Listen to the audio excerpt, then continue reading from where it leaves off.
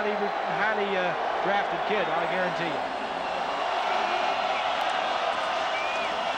Oh, look at this. They swarmed him. Paul Jensen was the first man to get there.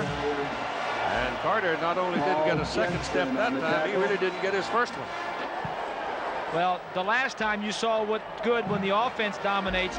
Now watch as the linebackers mix up the blocking scheme for the offensive line. Linebackers coming in different gaps at different times.